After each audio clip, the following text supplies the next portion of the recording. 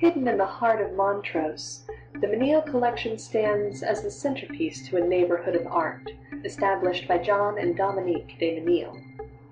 Originally from France, the couple fled during World War II and settled in Houston, where they began to collect art in the mid-1940s.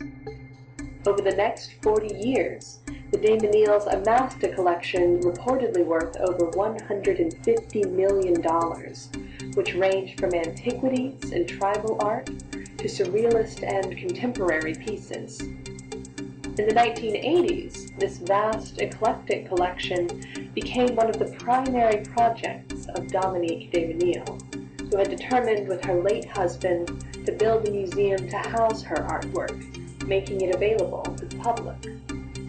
Throughout their time in Houston, the de had made significant efforts to develop the art community of the city, establishing art programs at both Rice University and the University of St. Thomas, and bringing artists from around the globe to expose Houston to the world of contemporary art.